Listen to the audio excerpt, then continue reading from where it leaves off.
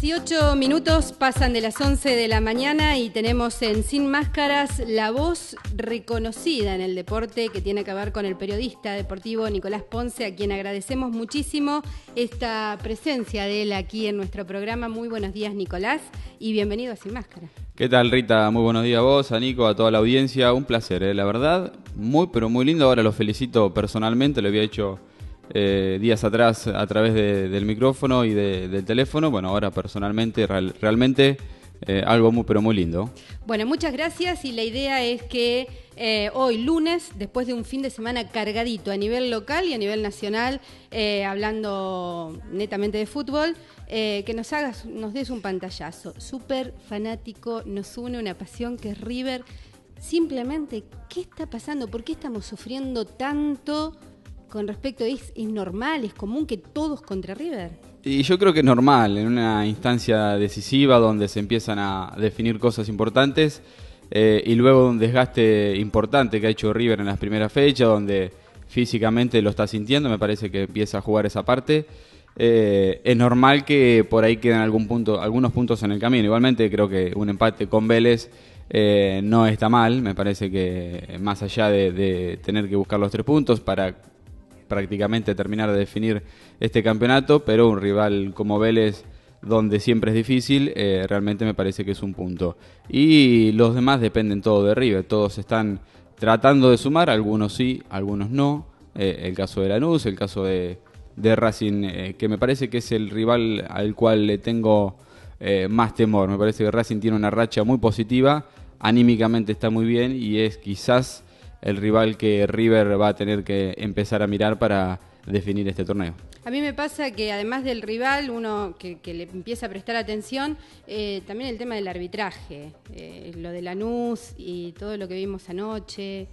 Sí, como que pesa también. Sí, sí, quizás eh, en algún en algún punto los jugadores sienten este este tipo de actitudes, pero me parece que, o sea, soy una, una persona que no habla mucho de los arbitrajes, pero hay cosas inevitables. O sea, lo de la luz me parece que, más allá de que no, no me parece juzgar como que fue para darle una mano a la luz, me parece que lo del árbitro fue un error eh, arbitral en cuanto a a querer demostrar luego de los cinco minutos adicionados y que me parece que está bien. El gol, el gol del empate de la nube para mí está bien. ¿eh? O sea, no podemos entrar a discutir en el minuto 4, 58 o 5 eh, si se tenía que terminar el juego o no. Me parece que el empate estaba bien, o sea, dentro de los límites. Hasta ahí, después no sabe.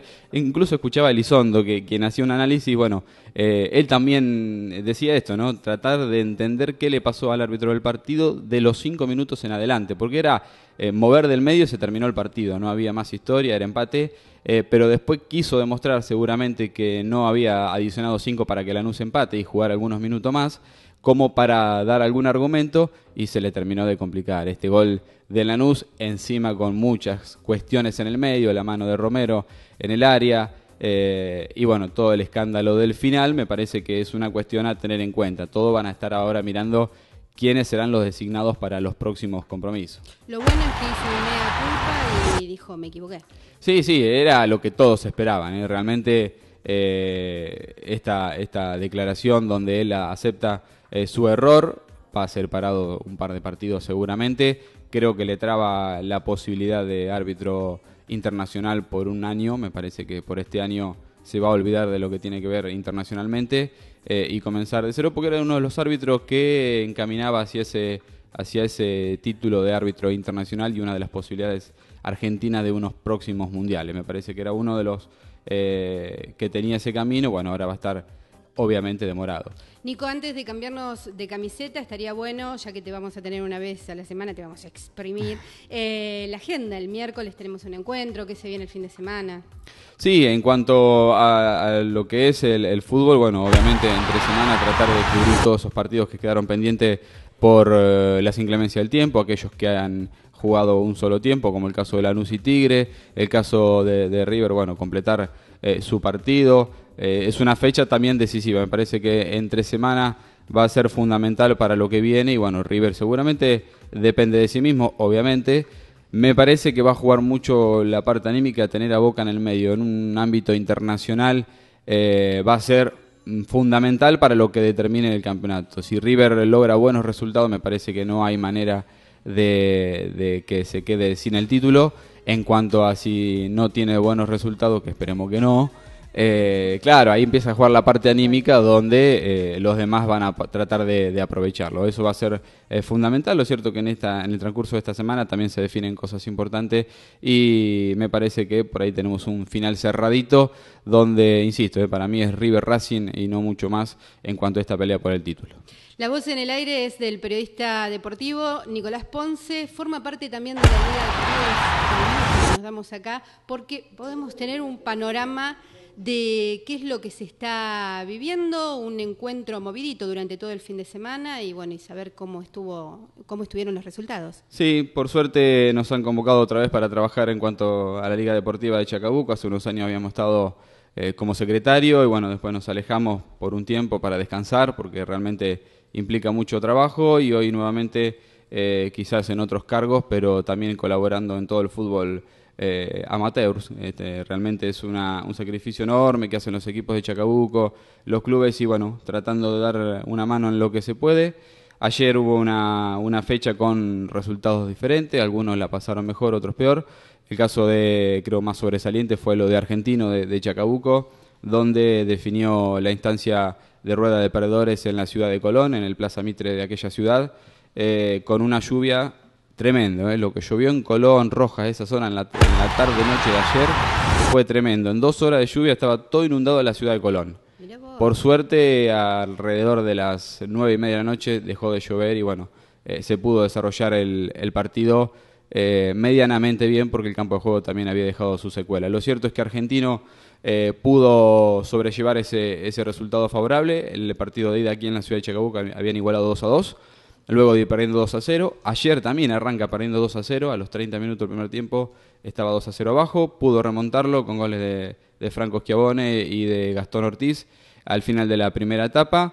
Eh, en el complemento aguantó como pudo, con dos hombres menos, eh, por dos expulsiones de Alejandro Onsari y Franquito Schiavone. Y finalmente en la definición por penales, nuevamente Argentino había sorteado a su rival en aquella vez era Villa Belgrano, le pudo ganar por penales y acceder a una nueva instancia. En este caso, nuevamente los penales le jugaron a favor de Argentino, anotó los cinco, los cinco goles de penales eh, a través de Gustavo Digangui, de mm, Sergio Batista, de Nico Palmieri, de Lucas Ciriliano y de Gastón Ortiz. Amorós, el arquero argentino, le contuvo el, penal a, Dorado, el jugador de Colón, y de esta manera Argentina, Argentino a través de los penales luego, logra una nueva instancia en este torneo de liga. Recordemos que está la zona de perdedores. Eh, ahora se viene para Argentino Social de Ascensión, otro durísimo rival. Esto es partido único en la ciudad de Chacabuco porque tiene ventaja Argentino en cuanto a la localía. Se va a estar jugando en el José Pataro el próximo fin de semana. Ese partido es, no hay eh, ida y vuelta, solamente un partido. Hay empate, se va a la definición por penales. Por eso Argentino eh, creo que festejó y merecidamente este triunfo. Eso en cuanto a los resultados positivos. A los resultados negativos, eh, tenemos que decir que Rivadavia de Chacabuco eh, se quedó en el camino porque no pudo dar vuelta eh, su resultado. Había perdido 1 a 0 en la ciudad de Social de Ascensión con Social. y en la tarde de ayer volvió a perder 2 a 1 en la cancha de River aquí en Chacabuco. Por eso no, no va a participar más del torneo. Ha quedado eliminado. Y en cuanto a 9 de julio, que era lo, más esperado quizás en la tarde de ayer, porque 9 de julio viene de la ronda de ganadores, o sea, había llegado de manera perfecta a esta definición. Eh, perdió la semifinal ayer 2 a 1 en la ciudad de mm, Rojas, en la localidad de Carabelas, a unos 16 15 kilómetros de Rojas. Eh, ahí hace local este equipo de Carabela Fútbol Club. Eh, perdió 2 a 1, había empatado 3 a 3 de manera increíble aquí en Chacabuco, luego de ir ganando 3 a 1. sobre el final se lo empataron eh, aquí en el Aldo Carena. Allá había arrancado ganando al minuto de juego con el gol de Augusto Tintorelli. El equipo de 9 de julio ganaba 1 a 0. Sobre el final, a los 20 y a los, a los 35 minutos, Carabela lo dio vuelta con goles de Blanco y Mateu. Y de esta manera lo dejó sin la posibilidad de disputar la final de rueda de ganadores. Por esto 9 de julio pasa a la rueda de perdedores y va a estar jugando también el próximo fin de semana ante Compañía General de Salto en la ciudad de Chacabuco en su estadio partido único, al igual que Argentino. Los dos definen en, sus estadios. Y bueno, los dos tienen la posibilidad de seguir en el torneo y de mm, tener la posibilidad. Aquí en la rueda de perdedores va a quedar solamente un equipo. En la rueda de ganadores está la final a disputarse entre Carabelas de Rojas y Jorge Newbery de Junín. Quien gane de esa llave va a esperar por quien gane la rueda de perdedores. Y así se va a definir el torneo Seis Ligas. Nico, a nivel local estás mm, manejando una agenda para el fin de semana. ¿Durante la semana hay algún encuentro? Sí, durante la semana este torneo Seis Ligas arranca con una parte local, donde los equipos de Chacabuco juegan su torneo. En ese torneo, quien clasificó primero fue 9 de julio, es eh, quien está esperando para jugar una final y definir quién es el campeón de la ciudad de Chacabuco. Y los demás equipos eh, van a, disputar una liguilla. En este caso van a estar jugando Argentino y Peñala 12 y Rivadavia River, quienes fueron segundo, tercero, cuarto y quinto respectivamente. Eh, por esto que acceden a esta liguilla. Estos partidos se van a estar jugando el día miércoles y jueves a partir de las 21 horas. creo no equivocarme, el miércoles va a estar haciendo Argentino y Peñala 12 y el jueves Rivadavia y River. En este, en este caso eh, quienes ganen esta llave van a estar eh, disputando una final para ver quién accede a esa final eh, con 9 de julio, que es quien espera por ser el primero clasificado en esa zona Chacabuco. Usted sabe que muchas veces se desconoce estos encuentros semanales. A partir de la semana pasada o la anterior empezamos a ir a visitar un poquito lo que son las canchas locales y el folclore ¿no? que se vive eh, que cuando uno no recurre a esos lugares lo desconoce. Hay pasión, hay enojos, el arbitraje, pobre son Siempre la cuestión. Pero está muy bueno, por eso el objetivo también es eh, abrir un poco este mundo futbolero local para que eh, la gente de Chacabuco se anime. A veces un miércoles, un jueves no tenés otra cosa que decir y está bueno. Sí, realmente esta iniciativa de años atrás de jugar entre semana, prácticamente a esta época donde empiezan los mejores días, es una buena iniciativa la gente acompaña mucho, en la semana eh, se permiten otras cosas, el fin de semana quizás por el, por el fútbol eh, de AFA hay gente que bueno eh, acompaña a sus respectivos clubes y no asiste a los, los estadios locales, pero esta iniciativa de jugar entre semana está muy buena, la gente acompaña mucho, hay mucho fútbol, uno que, que anda mucho en esto sabe que en la semana hay muchísimo fútbol, fíjate vos que estamos hablando hace unos minutos, y solamente de primera división, después hay eh, torneos sub-13, sub-15, de clubes, de selecciones, eh, torneos de inferiores. Realmente, eh, en cuanto al, torneo local y regional, Chacabuco ha evolucionado muchísimo en estos últimos años y ojalá siga haciéndolo de esta manera. Buenísimo, un pantallazo más que interesante, no sé si queda algo más por marcar. Eh, y quiero cerrar el bloque, antes nada, la pregunta. ¿Queda algo por...? No, no, no, repetir que, bueno, en cuanto al Liga, el próximo fin de semana, los dos equipos de Chacabuco van a ser eh, de local, eh, tanto Argentino como 9 de julio, ya tienen confirmado su rival, Argentino va con Social de Ascensión en el, Estadio José Pataro, 9 de julio en Aldo Carena con Compañía General de Salto.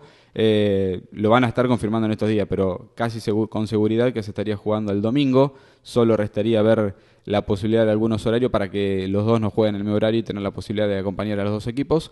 Eh, y entre semana, obviamente, el miércoles Peña la 12 con Argentino y el jueves eh, Rivadavia con River de Chacabuco. Esto en cuanto al torneo local. O sea, si bien es parte del seis ligas, es la etapa local eh, donde van a definir el campeón de Chacabuco. Aprovechamos de tu presencia, Nico. Arrancamos la semana tocando la temática. La semana pasada fueron diferentes temáticas con respecto a instituciones, eh, entidades que deberían o tendrían que llevar a cabo ciertas eh, cuestiones. Esta semana arrancamos con educación.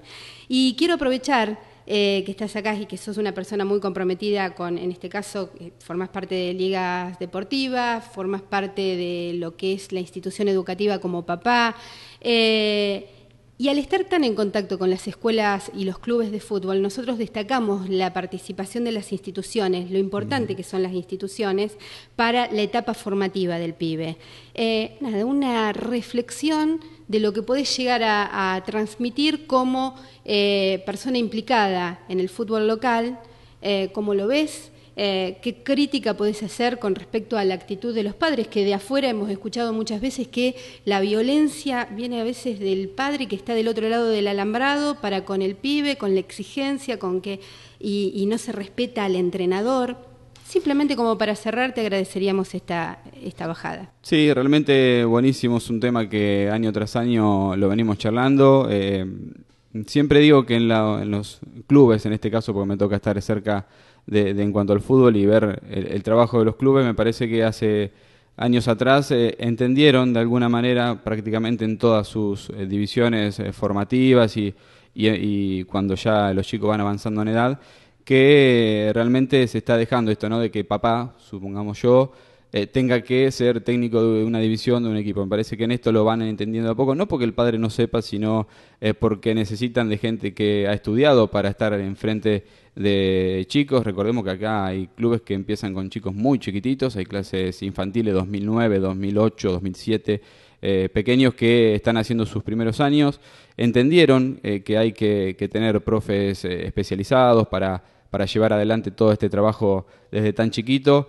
Entendieron también que eh, en los más chiquititos, infantiles, algunas categorías de inferiores, eh, todo esto es eh, para recreación. El chico tiene que ir al club, jugar, competir, pero para recrearse, no para ver quién es el que tiene más partidos invictos, quién tiene más puntos. Por eso nosotros de la liga, en cuanto a divisiones infantiles, no trabajamos con, con puntuación, sino que toda la competencia que se haga es recreativa. No hay puntos, no hay goles.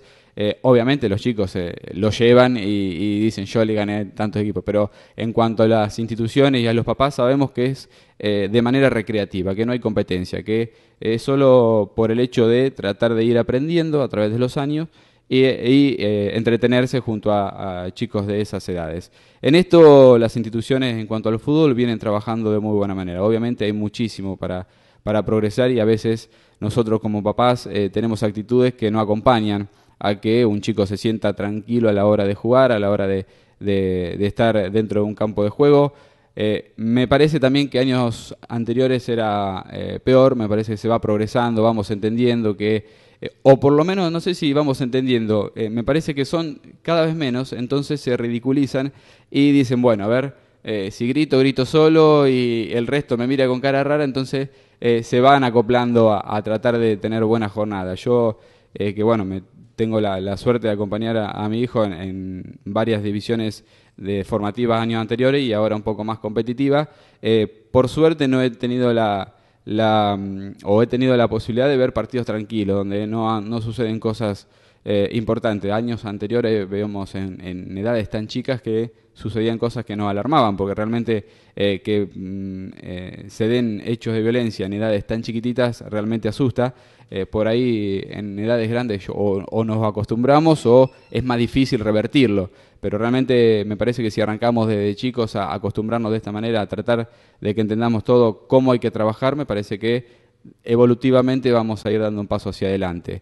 Eh, me parece que varias instituciones lo están eh, entendiendo. En estas, en esta semana se va a dar una charla importante que lo organiza el Club Peña la 12 en cuanto a, mm, si bien va a tratar mucho el tema de las adicciones, eh, viene un médico de, Boca Junior a, hablar sobre el tema, también creo que va a tocar algunos temas de violencia. Eh, y va, mm, va, a venir acompañado por Lucas Castromán, un exjugador de Vélez, de Boca Junior, que también está haciendo un trabajo notable en, las villas, eh, tratando de, de, trabajar muy bien en cuanto a las edades formativas y demás y hacer entender esto, ¿no? que el fútbol es un juego y que hay que tratar de pasarlo de la mejor manera eh, y eliminando de a poco estos hechos de violencia. Va a costar muchísimo, me parece que eh, todavía estamos años luz de poder lograrlo, pero de a poquito eh, las instituciones van entendiendo. Yo insisto en esto, me parece que si entendemos que hay que trabajar con gente especializada, cada vez son más las instituciones que lo van, lo van logrando, no es fácil porque económicamente también implica ciertas cuestiones, pero me parece que es la manera ideal. Excelente repaso de todo el fin de semana. Eh, él es periodista deportivo, forma parte de la Liga Deportiva de Chacabuco, se llama Nicolás Ponce y hasta nos dejó una reflexión de eh, lo que es la vivencia del club puntualmente en el fútbol. Muchísimas gracias y lo te esperamos, no lo, te esperamos el próximo lunes, eh, Nico. No, el placer ha sido mío, realmente agradecido de haber sido invitado para, para, acompañarlos, estar aquí con todo lo que tenga que ver eh, con el fútbol por el momento. Luego iremos aportando, eh, como hemos hecho en otras oportunidades, algún otro deporte porque realmente nos gusta. Sabemos eh, todas las instituciones y los deportes de Chacabuco el esfuerzo enorme que hacen y bueno, está bueno a través de, la radio o de cualquier medio estar acompañándolos. Así que ha sido un placer y la semana próxima estaremos aquí para seguir informando en cuanto al deporte de Chacabuco. El placer es nuestro. 38 minutos pasan de las 11 de la mañana y seguimos en esto que se llama Sin Máscaras. Sin Máscaras. Mostrarse tal como uno es.